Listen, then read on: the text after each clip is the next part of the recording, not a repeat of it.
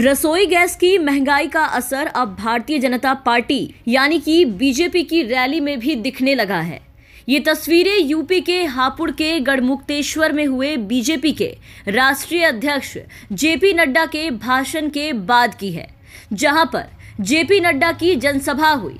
वहाँ बीजेपी नेताओं ने बड़े बड़े होर्डिंग्स और बैनर लगवाए थे, जिन पर लाखों रुपए खर्च किया गया था। जनसभा खत्म होने के बाद कुछ लोग होर्डिंग्स को उखाड़ते हुए नज़र आए।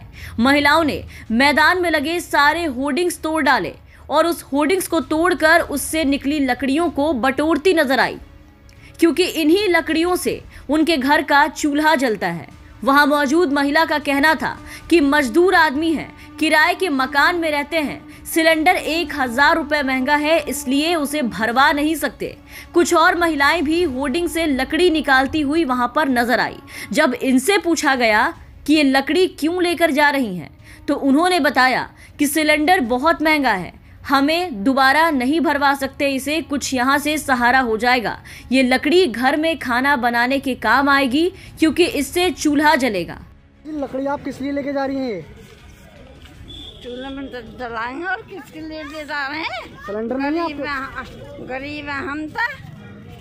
हाँ घर हमार नहीं मंडैया हमार नहीं। सिलेंडर है आपके पास? है सिलेंडर हज़ार का हो रहा है सिलेंडर। तो हज़ार रुपए का सिलेंडर होने की वजह से आप लकड़ी लेके जा रही हैं? और क्या क्या चला? खाना बनाना? लकड़ी जलाते हैं अब भी। सरकार ने तो आपको सिलेंडर दिया है उज्ज्वला योजना का भैया हमें ना मिला हम पहले ही हमने वैसे ले लिया तो क्या करेंगी आप अब भैया हज़ार रुपए का सिलेंडर है? गरीब आदमी कहाँ भी जा रहे? गरीब आदमी कहाँ से भरा हुआ सिलेंडर हज़ार रुपए का भैया तो आप इस ये जो होर्डिंग लगे हैं इन होर्डिंग को तोड़ा है तो वो आपके चूल्हा जलाने के काम आएगा किस क्या करेंगे? लकड़ी चूल्हा ही जलाएँगे रोटी तो सिलेंडर नहीं है आपके पास? भैया सिलेंडर है जब खत्म हो जाता है तो मजबूर आदमी कहाँ से भरा पाते हैं हज़ार रुपए में सिलेंडर भरता है सरकार की योजना है सरकार ने तो दे रही है गरीबों को। उज्ज्वला योजना के अंतर्गत सिलेंडर नहीं मिला आपको? ना कनेक्शन का ही है हमारे। तो।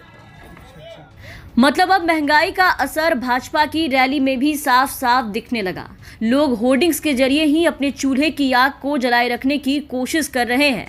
इस वीडियो के सामने आने के बाद ये साफ़ है कि भाजपा राज में पड़ी महँगाई की मार से आम जन, खास करके गरीब तबके के लोगों की, भूखे मरने की नौबत आ चुकी है। अब उनके घर का चूल्हा तक जलना मुश्किल हो चुका है। भाजपा राज में ये है, आम जन के साथ साथ गरीबों की हालात। गरीबों को उज्ज्वला योजना के तहत निशुल्क गैस कनेक्शन दिया गया। कनेक्शन लेने के लिए होड़ मची थी, लेकिन जब गैस एजेंसी पर कनेक्शन लेने गए लोग तो पता चला कि वर्तमान में गैस कनेक्शन मुफ़्त मिल रहा है। वहीं कंपनी लोन मद में 16 से 1700 रुपए रिफिल के दौरान सब्सिडी ना देकर के कनेक्शन का दाम वसूल लेगा। ये थी मुफ़्त उज्ज्वला हर घर गैस योजना की सच्चाई। अब एलपीजी की बढ़ती कीमतों ने महिलाओं को गैस चूल्हा बंद करने पर विवश करके चूल्हा फूकने की कगार पर ला दिया है। शुरुआती दौर में कनेक्शन पर रिफिल के दौरान बहुत से बहुत चार सौ संतानवे रुपए तक खाते में सब्सिडी आती थी। वहीं अब कम ज़्यादा होते होते अब साठ रुपए सब्सिडी खातों में भेजा जा रहा है। महँगाई की मार के कारण सिलेंडर नौ सौ तेईस रुपए हो गए हैं। अब गरीबों के सामने रसोई गैस की बढ़ती कीमतों के कारण सिलेंडर भरवाना मुश्किल होता जा रहा है, क्योंकि इनकी कमाई भी एक हज़ार रुपए नहीं होती है। जिसकी एक तस्वीर यहाँ भाजपा के रैली में देखने को मिली। जेपी नड्डा के सभा में लाखों के लगे होर्डिंग्स को लोगों ने तोड़ डाले। महिलाएँ इस होर्डिंग्स को तोड़कर अपने घर का चूल्हा जलाने का इंतज़ाम करते दिखाई दी। लेकिन अब भी ये सरकार को शर्म नहीं आएगी। खुद के राज में महँगाई की मार मोदी सरकार को दिखाई नहीं दे रही। जबकि 2013 में यही नरेंद्र मोदी थे जिन्होंने महँगाई को लेकर के एक बयान दिया था, जिसमें कहा था कि गरीब के घर में चूल्हा नहीं जल रहा। बच्चे आँसू पीते हैं रात रात में रोते हैं। लेकिन यही, अपने राज में मोदी जी को गरीबी के आँसू नहीं दिख रहे। इनके राज में महँगाई से बेबस होकर मरते गरीब और अब मध्यम वर्गीय लोग जो कि गरीबी रेखा के नीचे पहुँच रहे हैं, वो दिखाई नहीं पड़ता। अपने राज में ये सरकार अंधी और बहरी दोनों ही हो चुकी है। भारत में महँगाई चिंता का सबब बनती जा रही है।